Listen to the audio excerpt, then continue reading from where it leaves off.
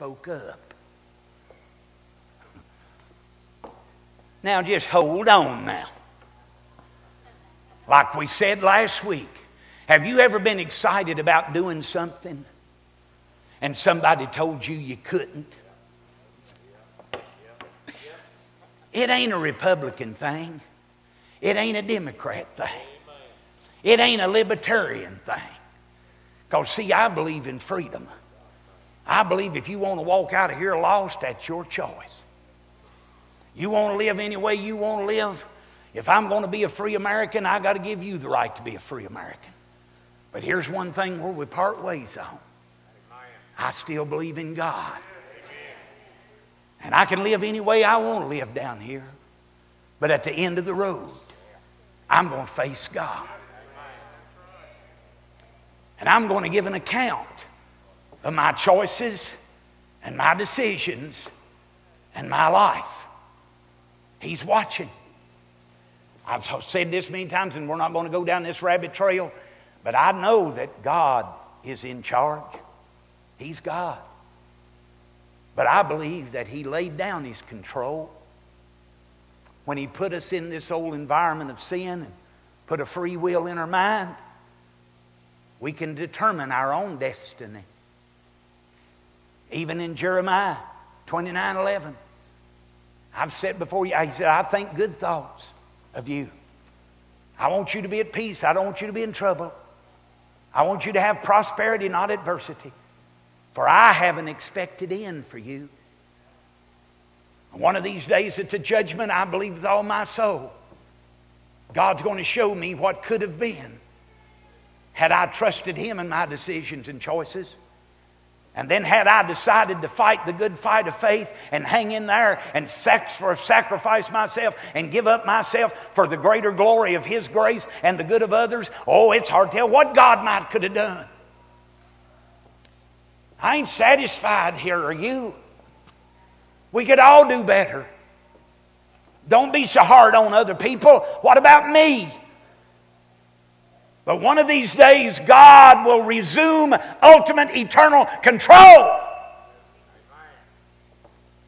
And the God who's always been in charge will take up his ultimate control again, and I'll give an account before him of everything that I've done, of every idle thought, of everything done. And at the judgment seat of Christ, I'm apt to suffer loss.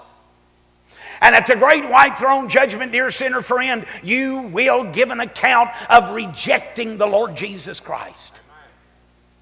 And what did you get in his place? My. How much does it take to get you to sell out? How much does it take to get you to worship some other little God? How much does it take for you to say, no, we can't take those giants up there. It wasn't so much that they really meant we can't. That was a lie. What they were really saying was, we don't want to. And we're not.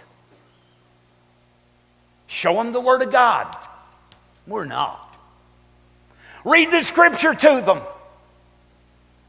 Well, that's back a long time ago. That doesn't apply to me because I'm my own God. The ultimate sin of idolatry is when I elevate myself among above God and everyone else. And it's my way or the highway, brother. You better get humble quick. Because the very thing that antagonizes God is pride. You want to condemn the dopehead? You don't want to condemn those that live in life like you think they shouldn't?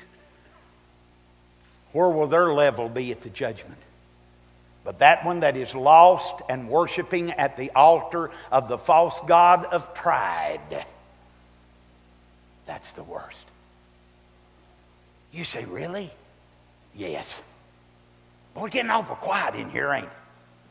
Somebody done got mad at Brother Mike. They said, that low down rascal just said I was worse than some old dopey. We've all sinned. Don't you dare look down on other people. Don't you dare try to put anybody down.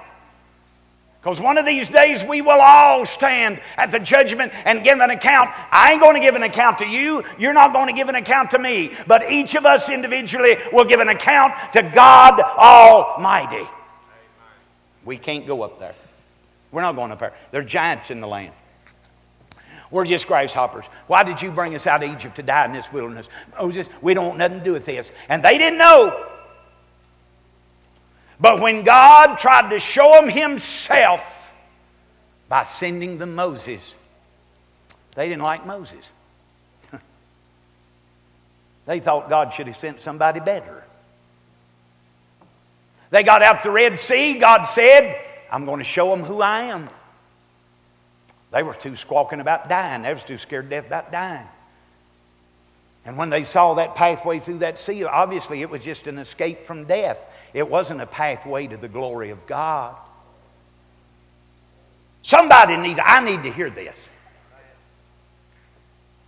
If you got saved just to get out of hell, I mean, that was part of it. But there's a whole lot more to it.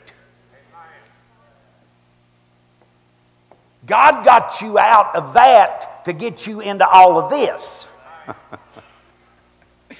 and he's telling them, Joe, I got you out of there. Here I am now, Sue. You're out of the wilderness, and now you're free people, and I'm with you. I'm the God who brought you out. I'm the God who got you over, and I'm right here right now with you. Boy, they praised him for a little while. Three days later, another challenge, another quiz, another test at Marah, and they failed again. Elim, they failed again. God's long suffering, but He won't always strive with man. And when those ten stim- listen, listen carefully. What I say and how I act, I do influence other people. That's part of the account I'm going to give one of these days. And I may go up to somebody and maybe they're just happy and they're enjoying, you know, things that are going on and they're just, you know, getting along pretty good. And then I go up to them and I say, What do you think about that? Hey, there's all knowing smart guy. They didn't wasn't thinking anything about it. Till your footsteps was guided by the devil. And you got over and you got bringing all that stuff up. Now they're thinking about it. They weren't that. See, we're supposed to be ministers of mercy and light and love and goodness. That's who Jesus is, and that's what he's all about. Why, we can't go up there. There were uh, lots of other people standing around. Caleb had just told them, Look at all this. It's ours. We can go up right now and take it. And some of them were getting excited and they were anxious. They were saying, Oh boy, I'm going up there and get me some of them grapes. some of them there grapes. I'm going to go up there and I'm going to get some of them pomegranates. I want to go up there and see that brook on the high ground of Hebron. Well, oh boy, we going to go. Here we go. And then they heard people over there, the commotion.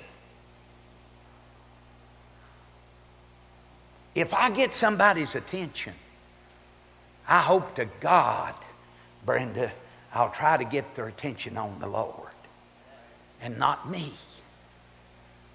Because if I get somebody's attention on the Lord, oh my, he's going to take them on up to Hebron right now. but then the others started. Wait a minute. Wait a minute. Now we know Korah here, and we know this other, these other people. Now we better listen to what they're saying. And we better get this thing together. So we're not going to go. Why didn't you just leave us in Egypt, Moses? And when God heard that, there was a deadline. And I'm telling you, ladies and gentlemen, when you step over that deadline, I don't know where it is, I'm not smart enough to know all about it. But when Almighty God, when you hear the word Ichabod come through the loving lips of God and seal it down upon your head, you're going to wonder. God's still a God of love, but He told him, He said, You were gone 40 days. I'm going to put a year to each day.